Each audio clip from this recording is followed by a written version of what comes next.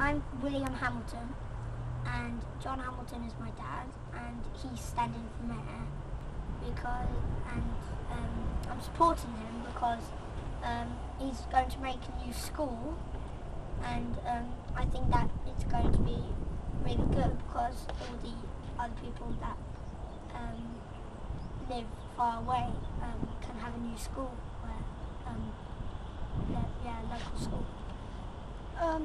Hi, I'm Louis and I'm William's friend. And I, I'm supporting John because if Steve Bullock gets the mayor job, he will close down Ladywell Pool and we like swimming. And if John gets um, mayor, he will put up diving boards there. And that will be really good for us to have a go at diving. Yeah. Also, he's going to put more um, generation play clubs, and it's um, so then like toddlers can have like can be educated more. Well, yeah, and th- that's why we're supporting John Hamilton.